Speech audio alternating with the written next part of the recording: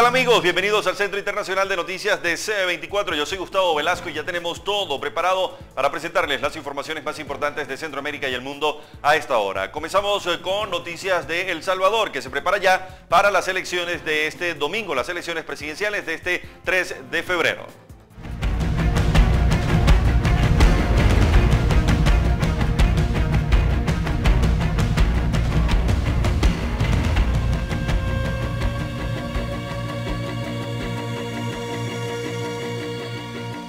En El Salvador, la Organización de Estados Americanos ha intensificado su labor de observación en ese país a días para las elecciones presidenciales. la fuente ha señalado que el jefe de la misión de observación electoral de la OEA, el uruguayo Juan Pablo Carlosoli, indicó que los observadores que ya se encuentran en el territorio están llevando a cabo un análisis sustantivo en materia de organización y tecnología electoral, financiamiento político y justicia en ese país. El 3 de febrero próximo, día de las elecciones, los observadores internacionales de la OEA visitarán centros de votación para observar el transcurso de la jornada electoral desde la apertura de las juntas receptoras de votos hasta el escrutinio y la transmisión de los resultados. 83 expertos y observadores internacionales provenientes de 24 países están activados por la OEA en El Salvador y esta sería la decimosexta elección de la OEA o que la OEA observa en El Salvador. En las elecciones del 3 de febrero competirán por la presidencia de El Salvador Hugo Martínez del gobernante Frente Farabundo Martí para la Liberación Nacional, el FMLN, Carlos Calleja por la Alianza Republicana Nacionalista Arena, Nayib Bukele por la Gran Alianza por la Unidad Nacional Gana y Josué Alvarado por Vamos. 5.2 millones de electores están llamados a las urnas para elegir a quién será el mandatario durante los próximos cinco años y qué sucederá a Salvador Sánchez Serén. Se trata de la sexta elección presidencial desde la firma de los acuerdos de paz que pusieron fin a 12 años de guerra civil entre 1980 y 1992.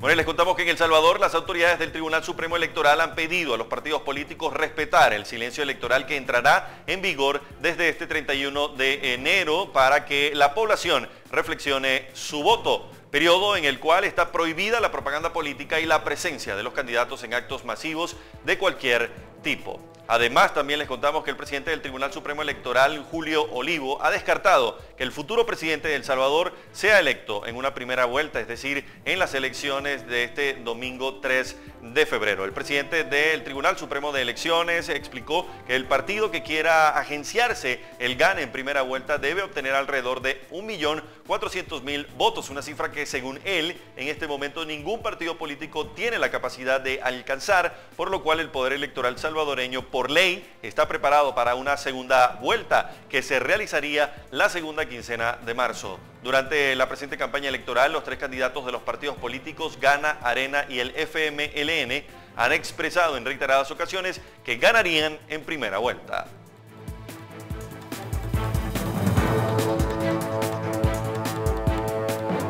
Los candidatos están ultimando detalles para la movilización de este 3 de febrero, día de las elecciones presidenciales en El Salvador. Ya se les va a ver menos. Por ejemplo, el candidato Nayib Bukele apostó todo a que ganará en primera vuelta una seguridad que le otorgan las encuestas que lo colocan como el posible ganador de las elecciones de este domingo. No empezó cuando nos pusieron cada obstáculo para poder correr por la presidencia de la República. No empezó ahí. Esta batalla empezó cuando a un campesino le negaron su derecho a una vivienda digna. Esta batalla empezó antes, cuando a un agente de la PNC lo hicieron renunciar de su profesión y le acecharon las autoridades de su misma corporación solo por pedir dignidad para sus compañeros. Esta batalla empezó cuando un vendedor en Santa Tecla fue asesinado a sangre fría por solamente pedir su derecho a trabajar honradamente. El Salvador ha pasado incontables dificultades, dolores, obstáculos. Eso todo lo tenemos claro. Lo tenemos claro porque lo hemos visto, porque lo hemos vivido, porque lo hemos sufrido. Nuestro movimiento, de hecho, también ha sufrido dificultades y obstáculos.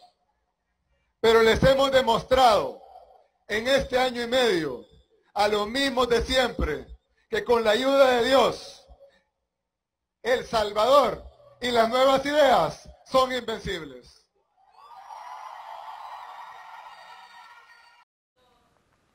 Por su parte, Carlos eh, Calleja del Partido Arena difundió un video en el que compila su cierre de campaña y dice que cerró su campaña como va a gobernar cerca de la gente en más de 15 eventos simultáneos en todo el territorio salvadoreño.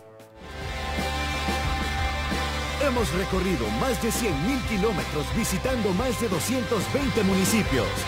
Y este fin de semana cerramos con broche de oro, el despliegue territorial más grande de la historia de El Salvador, con la Gira del Triunfo 2019. Así es como comenzamos a construir un nuevo país con mejores oportunidades para todos los salvadoreños.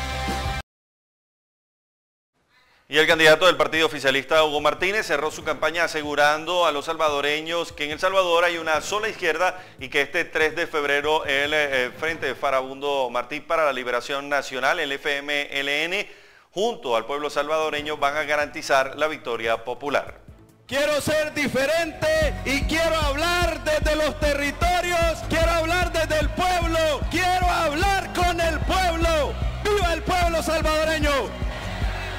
La hora ya llegó y la lucha es del pueblo y sin parar hasta lograr el triunfo popular el 3 de febrero. Aquí hay una sola izquierda y se llama FMLN. ¿Cómo se llama?